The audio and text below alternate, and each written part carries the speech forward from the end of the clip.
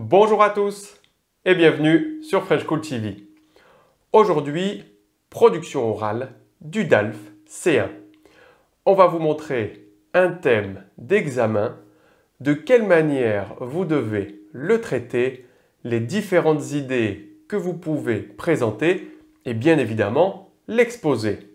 Ensuite, on vous montrera aussi quelques questions types pour le débat et de quelle manière vous pouvez répondre. Alors, avant de commencer à regarder cette vidéo, vous pouvez activer les sous-titres pour une meilleure compréhension. Si vous regardez cette vidéo en première, n'hésitez pas, posez vos questions et on y répond. Bien évidemment, les questions sur l'examen du DALF C1. Allez, c'est parti, on attaque Alors, très rapidement, comment se passe l'examen? Le jour de la production orale, la première chose que vous allez faire, c'est choisir votre thème d'examen. L'évaluateur va vous proposer 15 thèmes que vous ne voyez pas. Vous devez en choisir deux, les regarder et choisir le thème que vous désirez préparer. Une fois que vous avez choisi, vous aurez une heure pour préparer votre exposé. Ensuite, l'évaluateur viendra vous chercher et vous pourrez lui présenter votre exposé. À la fin de votre exposé, ensuite, il y aura un débat sur le thème de l'exposé et sur les arguments et idées que vous avez présentés. Vous voyez, c'est très simple. Puisqu'on vous donne une heure de préparation, on attend que votre exposé soit relativement clair, construit, facile à suivre et avec de nombreuses idées. Attention, très important, ici, vous devez présenter des idées que vous avez prises des documents qu'on vous propose, mais également apporter des idées personnelles. C'est un mélange des deux. Alors, quand vous présenterez une idée qui vient du premier texte ou du deuxième texte, n'oubliez pas de le dire. Dans le premier texte, telle personne dit ça. Dans le deuxième texte, on dit que ou on parle de. Et ensuite, vous présentez l'information que vous allez expliquer, commenter, sur laquelle vous allez opiner. Concernant la longueur de votre exposé. Alors, en théorie, on attend un exposé d'une durée de 8-10 minutes. D'accord? Moins, en général, non, à part si vous avez un rythme de parole qui est très rapide. Plus, pas de problème. Vous pouvez faire un exposé de 15 minutes euh, ou 20 minutes. Les évaluateurs continueront à vous écouter. D'accord? Mais vous allez voir avec le plan que l'on va vous proposer aujourd'hui de quelle manière, très simplement, vous pouvez faire un exposé très complet. Une question que l'on me pose souvent, c'est est-ce que je peux lire mes notes? Oui, bien évidemment, vous pouvez lire vos notes. C'est l'objectif d'avoir préparé pendant une heure. Donc, attention, on ne veut pas que vous fassiez de la lecture. Mais, bien évidemment, vous allez, euh, si je regarde mon plan ici, j'aurai mon plan avec mes différentes idées et je vais regarder mon plan, présenter mon idée, encore regarder mon plan et représenter l'idée. Vous allez le voir maintenant dans l'exposé.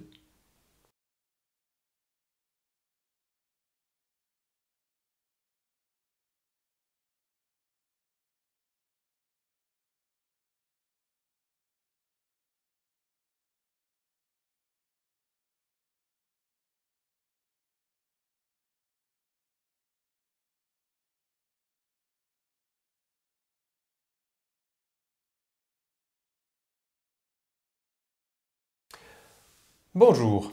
Alors, euh, le sujet dont je vais parler, c'est le numéro 2. Le thème qu'on nous propose ici, la problématique, c'est l'espèce humaine peut-elle préserver la biodiversité? Alors tout d'abord, dans le premier document qui s'appelle Biodiversité, de quoi parle-t-on? qui a été écrit dans le magazine Sciences humaines, euh, c'est un entretien avec euh, un professeur d'université de Paris 6 euh, qui s'appelle Robert Barbeau. Et donc il répond à trois questions. Une sur la biodiversité, un petit peu sur donc le fait que ce soit un concept politique qui soit arrivé en 1992, mais où il parle également des aspects humains euh, économiques et sociaux de la biodiversité.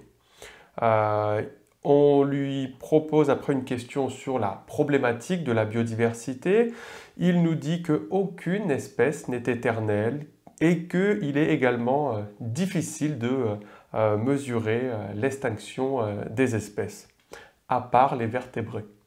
Euh, et finalement, dans une troisième question qu'on lui pose sur les conséquences de la perte euh, de la biodiversité, euh, il nous parle des oiseaux communs et il fait un, parallèle entre les oiseaux communs et l'être humain et que s'ils disparaissent, il est possible que nous disparaissions aussi. Finalement, il nous donne un exemple d'importance de la biodiversité pour le développement euh, durable, euh, avec un exemple qui parle de l'eau potable à New York, mais j'en parlerai ensuite euh, dans mon exposé. Le deuxième texte, qui s'appelle Les espèces naissent, prospèrent, puis disparaissent, c'est encore un entretien avec Christian Lévesque, qui est un hydrobiologiste. on lui pose encore trois questions sur les menaces, la création de la biodiversité et est-ce qu'il sera possible de sauvegarder donc la biodiversité? Concernant les menaces, il nous parle de euh, quatre principales, euh, la pollution, la destruction de l'habitat, euh, la surexploitation et l'introduction d'espèces. Mais il ajoute d'autres menaces comme les comportements sociaux, la corruption en ce qui concerne euh, les euh, campagnes de, préservation de la biodiversité, mais aussi la pauvreté. Euh, en ce qui concerne la création de la biodiversité, il nous dit que l'être humain est capable de créer des espèces, mais trop lentement face au rythme de destruction de la biodiversité. Et finalement, euh, quand on lui demande s'il est possible de tout sauvegarder, euh, il nous dit que non, qu'il va falloir faire des choix, mais que euh, chaque personne a son propre avis. Voilà pourquoi donc on nous pose cette problématique. Est-ce que l'espèce humaine peut préserver la biodiversité?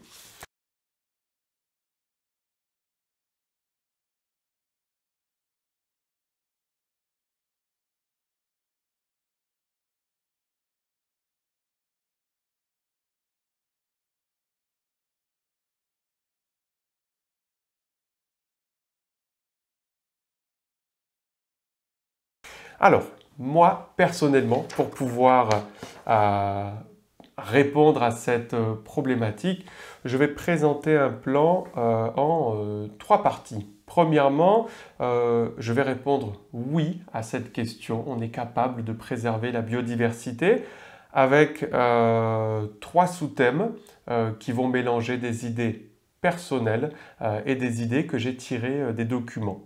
Dans un deuxième temps, je répondrai non, euh, l'homme, l'être humain ne peut pas préserver la biodiversité, encore avec trois sous-thèmes et des euh, éléments personnels euh, et tirés des documents. puis finalement, après, je terminerai par une conclusion avec ma réponse à la problématique et une question pour passer au débat.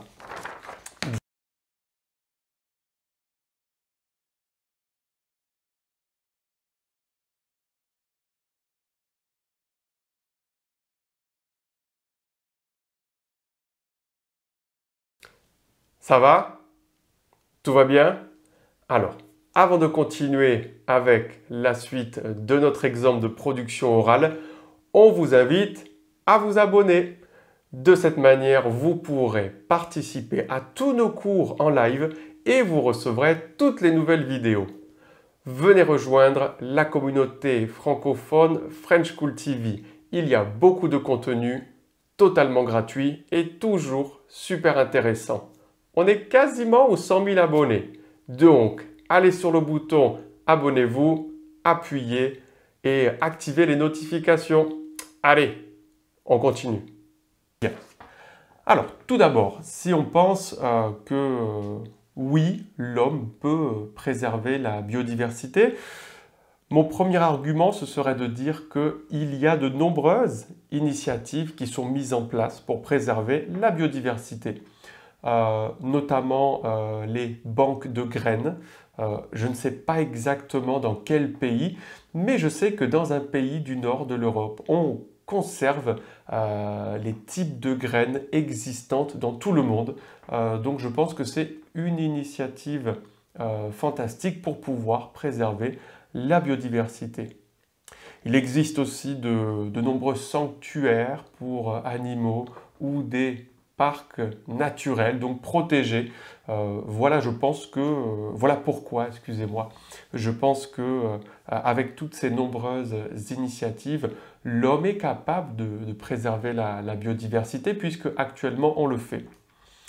Euh, si je prends une information qui était dans le deuxième texte, euh, Christian Levesque, l'hydrobiologiste, euh, nous disait que l'homme est, capable de créer donc des, des espèces pour éviter donc la, la disparition de plantes ou d'animaux. On était capable un petit peu de faire des modifications génétiques pour qu'ils s'adaptent, pour que ces êtres s'adaptent ou qu'ils soient plus résistants. Donc, euh, je crois qu'on peut, euh, on peut préserver la biodiversité euh, avec toutes ces différentes initiatives. De plus, un autre argument, je pense que je crois que maintenant on n'est plus, concerné par la, la, préservation de la biodiversité que avant. il y a de nombreuses campagnes de sensibilisation surtout pour les jeunes, euh, qui sont donc les, générations futures qui vont devoir encore plus préserver cette biodiversité. Euh, et je crois aussi que euh, le discours politique a changé ces dernières années. comme nous disait Robert Barbeau dans le premier document, le concept politique de biodiversité est apparu en 1992 et je pense que depuis cette époque, euh, il y a une vraie préoccupation de la société pour la préservation de la biodiversité. Donc je crois que euh, on est capable de préserver la biodiversité puisqu'on est plus sensibilisé à la préservation de la biodiversité. Euh, et enfin, pour terminer avec ce thème, il y a de nombreuses conférences internationales sur la préservation de la biodiversité comme par exemple la COP 21 qui a eu lieu euh, à Paris, euh, où tous les leaders politiques internationaux se retrouvent pour prendre des décisions euh, et donc aider à cette, à cette préservation.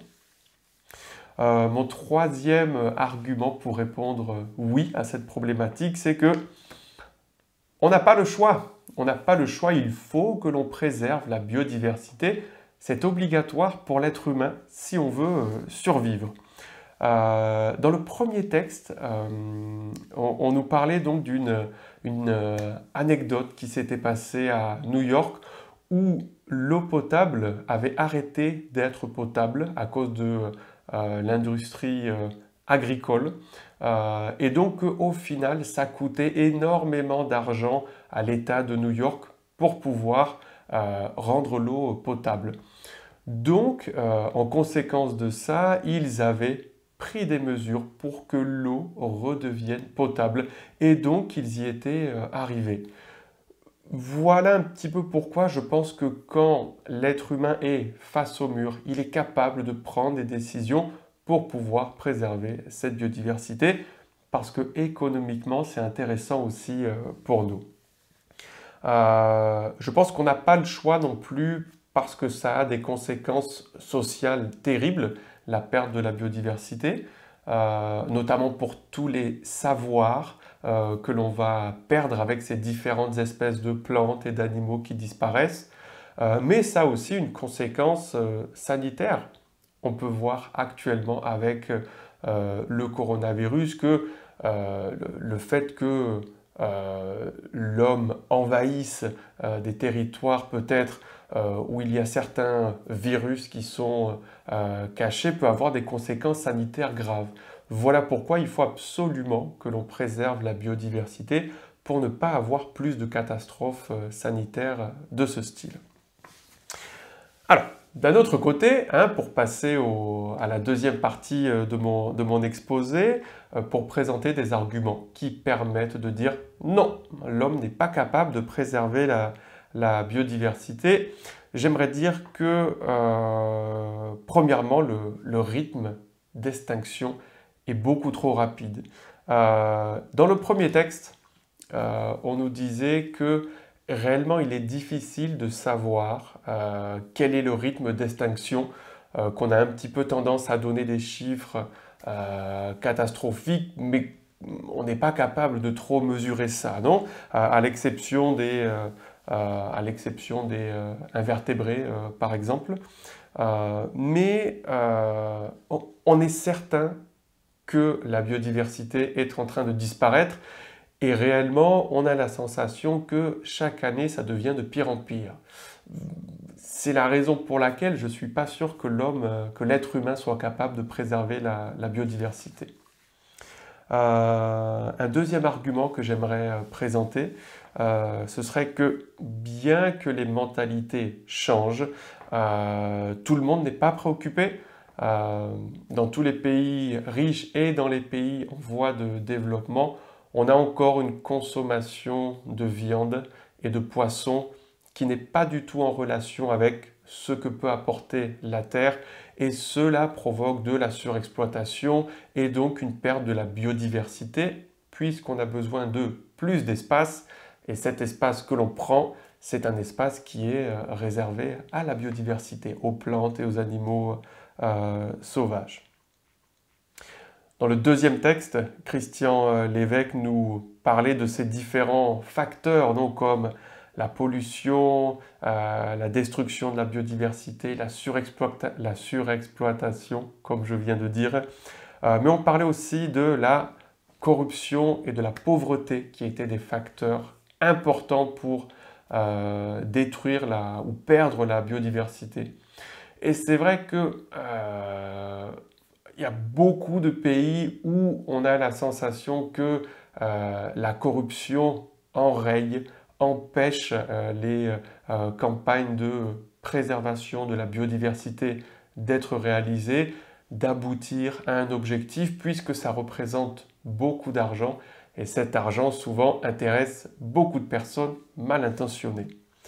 Et enfin, en ce qui concerne la pauvreté, c'est vrai qu'en Europe, on, parle facilement de préservation de la biodiversité et on a tendance à vouloir donner des leçons à tout le monde, mais les pays en voie de développement, eux aussi, ils veulent euh, de l'électricité, ils veulent le confort de vivre euh, bien, ils veulent avoir accès à la technologie et donc tout ça, euh, euh, ce sont des euh, obstacles à la préservation de la biodiversité. Mais on ne peut pas dire à quelqu'un de ne pas faire quelque chose que nous, on fait. Donc, je pense que dans le futur, ces pays en voie de développement vont être très pollueurs et donc vont surexploiter et donc on va perdre énormément de biodiversité. Euh, comme troisième euh, argument pour répondre non à cette problématique, euh, je voulais ajouter que le réchauffement climatique accélère le processus de perte de la biodiversité. Non Si on prend par exemple le cas de la barrière de corail en Australie, on sait qu'elle est en train de disparaître. Est-ce que réellement on est capable de faire quelque chose Hmm, pour moi, c'est difficile à, dire. On a la sensation qu'on essaye de faire quelque chose, mais que c'est inévitable que cela va arriver, quoi que l'on essaye de faire, non? Euh, On pourrait prendre l'exemple aussi de la banquise. Euh, chaque année, on, a ces informations qui arrivent que la banquise est de moins en moins importante. On voit ces animaux qui n'ont plus d'espace pour survivre ou qui n'ont plus un espace adapté à leur survie. Voilà pourquoi je pense que on n'est pas capable de préserver euh, la, biodiversité puisqu'on n'est pas capable de euh, ralentir le réchauffement euh, climatique.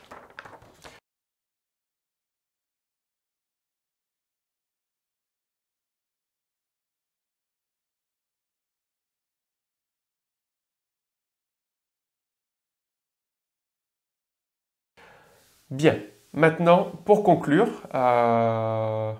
malheureusement, j'aimerais donner ma réponse à la question. Et je pense que non, l'être humain n'est pas capable de préserver la biodiversité puisque euh, si je me réfère aux informations que je vois dans les médias, les seules choses que je vois, c'est donc l'extinction des espèces. Après, bon, on peut nuancer un peu la réponse et voir qu'il y a beaucoup de choses qui sont faites pour préserver cette biodiversité et que, comme on a dit, euh, enfin, comme j'ai dit, comme on a vu, euh, quand l'homme est face au mur, euh, il arrive toujours à, trouver une, solution, non? Pour passer au débat, j'aimerais poser une question. j'aimerais vous demander si vous ne pensez pas que cette extinction, au final, ce n'est pas un cycle naturel. dans le premier texte, on nous disait qu'une espèce vit pendant 5 millions d'années, puis euh, s'éteint, disparaît. Donc, est-ce qu'au final, ce n'est pas un cycle naturel et que quand toutes les espèces animales actuelles auront disparu, de nouvelles espèces euh, vont apparaître? Voilà, j'ai terminé euh, mon exposé. Maintenant, je suis prêt à répondre à vos questions pour le débat.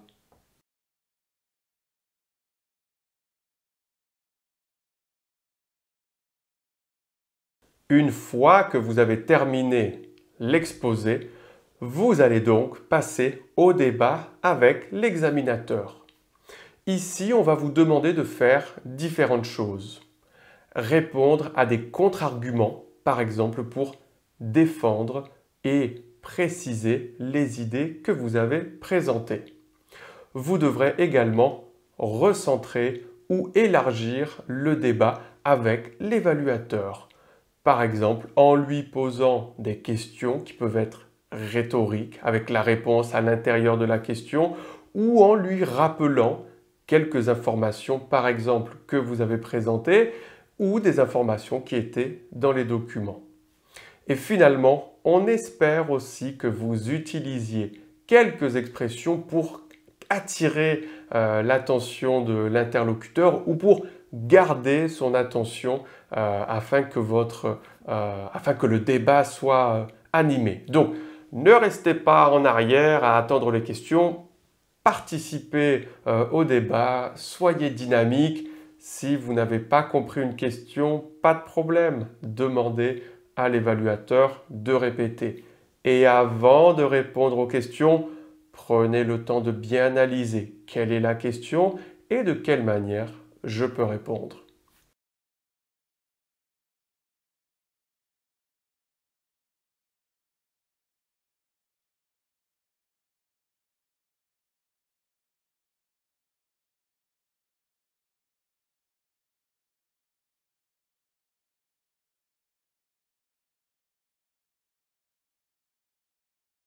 Ah, est-ce que je crois que la perte des valeurs traditionnelles accélère celle de la biodiversité. Euh, D'une certaine manière, euh, je pourrais répondre oui, puisqu'au final, c'est vrai que ces valeurs traditionnelles de la famille, de l'alimentation, un petit peu peut-être même de, euh, de la religion et euh, de tout ce qui est aussi la méditation, euh, par exemple, peut accélérer la perte de la biodiversité. Hum, parce que je crois que les, les valeurs traditionnelles sont toujours posées sur, enfin, sont toujours fondées ou reposent sur des valeurs de entraide, euh, de famille, de se préoccuper des autres et pas uniquement de se préoccuper de soi-même.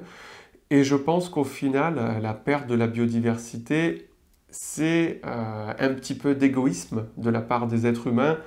On veut consommer, on veut consommer toujours plus, on veut faire plus de profit, comme c'était dit dans un des textes, je ne sais plus si le premier ou, euh, ou le deuxième.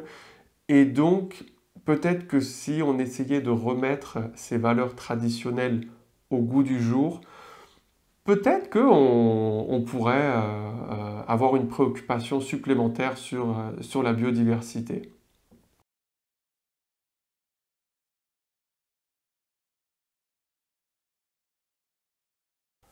Ah, bien écoutez, c'est une bonne question. Est-ce que les organismes génétiquement modifiés sont un atout ou un danger? D'une certaine manière, je crois qu'ils sont un atout, puisque, ah, comme j'ai dit dans une partie de mon, exposé, je pense qu'ils permettent de rendre plus fort certaines espèces végétales ou animales. Non, par exemple, si on a euh, des tomates qui euh, peuvent résister aux températures très froides, très froides. Par exemple, euh, l'hiver, ça pourrait aider à ne pas perdre cette variété de tomates, tout simplement. Si on était capable de renforcer les capacités et le système immunitaire des animaux, peut-être qu'on pourrait les aider à ne pas, à ne pas disparaître. mais bon, J'aimerais dire que euh, moi, personnellement, je ne suis pas très favorable à, cette, modification euh, génétique des plantes et des animaux. Maintenant, euh, si on m'assure et on peut contrôler que cette modification génétique, elle est réalisée à bon escient, dans une fin qui est réellement positive et pour préserver la biodiversité, pourquoi pas? Euh, je, ne suis pas contre une telle, euh, une telle mesure ou une telle euh, initiative.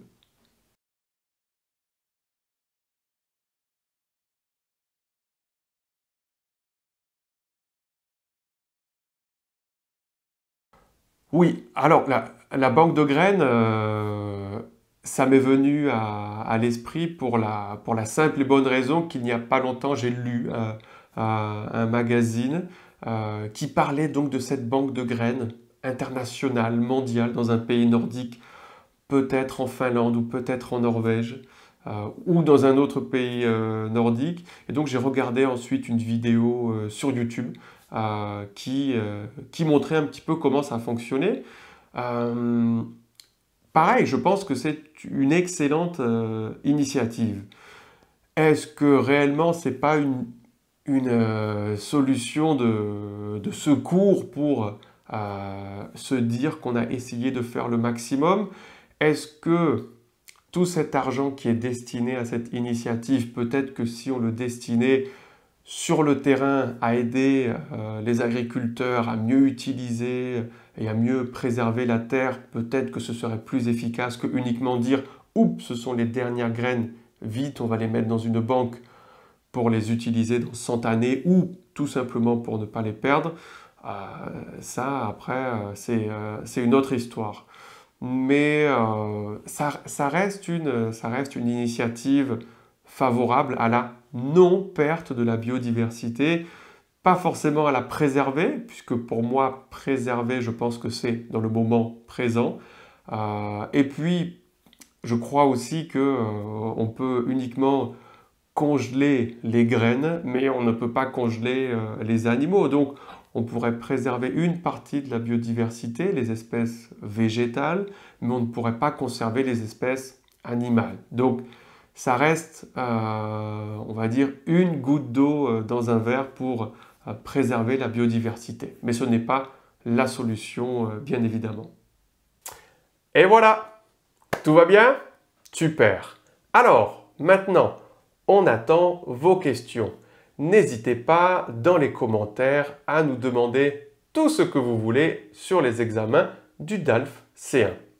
Bien évidemment, on vous invite à nous mettre un super j'aime, à partager cette vidéo sur vos réseaux et bien évidemment à vous abonner pour rejoindre la communauté French School TV et participer à nos cours en live. Si vous souhaitez télécharger les thèmes de l'examen, vous les avez dans la description ou sur notre compte Telegram. Vous voulez soutenir notre travail, c'est très facile. Offrez-nous un fromage. Vous avez le lien dans la description de cette vidéo ou dans le chat. Et finalement, avant de nous quitter, si vous êtes intéressé pour préparer l'examen du DALF C1, que ce soit dans des cours privés ou dans des cours en groupe, vous avez toute l'information dans la description de cette vidéo. On vous dit encore merci beaucoup et à très bientôt. Ciao ciao